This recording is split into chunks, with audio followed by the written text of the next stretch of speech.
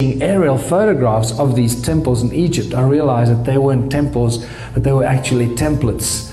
That we're actually looking at gigantic energy circuits, circuit boards on a gigantic scale that we could never have imagined. It's just beyond our imagination. The scale that these guys were building things on is something way out of our perception because we just don't have enough money to do that.